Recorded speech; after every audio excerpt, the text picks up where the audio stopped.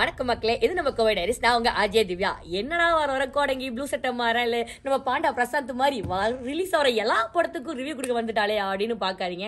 பல மாஸ் படத்துக்கு வந்து ஃபேன்ஸ் வருத்தப்படுவாங்களே ப்ரொடியூசர் வருத்தப்படுவாங்களேன்னு சொல்லி கொஞ்சம் பூசி மேலேயே நல்லா இருக்குது நல்லா இருக்குதுன்னு சொல்லி எவ்வளோ அடி வாங்கினாலும் அழுவாத மாதிரியே நடிச்சு நடிச்சு ரிவ்யூ கொடுத்து சரி ரொம்ப நாள் கழிச்சு ஒரு நல்ல படம் பார்த்தோம் அப்படிங்கிறக்காக தான் வந்து இந்த எதற்கும் துணிந்தவன் படத்துக்கு வந்து ஒரு குயிக் ரிவ்யூ கொடுக்கலாம் அப்படின்னு வந்திருக்கேன். ஸோ யூஎஸ்ஏல பார்த்தோம் இப்போ தான் படம் ரிலீஸ் ஆகிருக்கு எக் மிக்ஸ்டு ரிவ்யூஸ் தான் வந்துச்சு. இன்ட்ரோ ஒரு அஞ்சு நிமிஷம் பார்க்கையில் வந்து நம்மளே தெரியாம வந்து தலையை விட்டுட்டோமோ இவனும் நம்மளை வச்சு தான் செய்ய போறாங்களோ அப்படின்னு டவுட்லேயே தாங்க உட்காந்துருந்தோம் அதுவும் இன்ட்ரோலாம் பயங்கர பில்டப்பாக இருந்துச்சு. ஆஹா தலை வேற லெவல் போல இருக்கே. நம்மளை சூர்யா படம் நம்மளை செய்ய போறாரு போல இருக்கே. நம்ம நான் வந்து கோட்டு போட்டா மற்றவன் ஜட்ஜி ஆனா வேட்டி கட்டுனா நான் தான்டா ஜட்ஜி அப்படின்னு பஞ்சு டைலாக்லாம் வரும். ஆஹா அப்படின்ட்டு கொஞ்சம் மைல்டாக டவுட் ஆனோம். பட் அதெல்லாம் தாண்டி செம்ம ஃபன்னாக போச்சு படம். அந்த ரெண்டரை மணி நேரத்தில் வந்து ரெண்டு மணி நேரம் ஜாலியாக தான் போச்சு.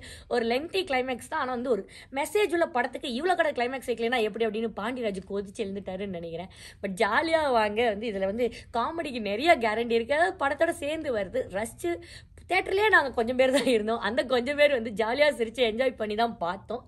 சீரியஸாக ஒரு மெசேஜ் சொல்ல ட்ரை பண்ணியிருக்கிறாரு. கண்டிப்பாக நிறைய பேருக்கு யூஸ் ஆகும். நிறைய பேர் யோசிக்க வைக்கணும் தான் நம்புகிறேன் ரொம்பலாம் ஐ திங்க் பண்ணாதீங்க. ஓடிடியில் வந்தாலும் பாருங்கள் பக்கத்தில் தேட்டர் இருந்துச்சுன்னா டிக்கெட் விலை கம்மியாக இருந்துச்சுன்னா ஜாலியாக போய் பார்த்து என்ஜாய் பண்ணுவாங்க எதிர்க்கும் துணிந்தவன் வந்து துணிஞ்சு போய் நீங்கள் ஒரு தடவை கண்டிப்பாக பார்க்கலாங்க. அதுக்கு நாங்கள் கேரண்டி அதுபடி வேறு ஒரு நல்ல படத்தில் ஹோப்ஃபுல்லி ரிலீஸ் பண்ணால் இல்லை எந்த படம் வருதோ அந்த படம் ரிவியூவில் உங்களை சந்திக்கிறேன். Until then bye bye from Ajay Divya இது நம்ம கோவை டைரிஸ்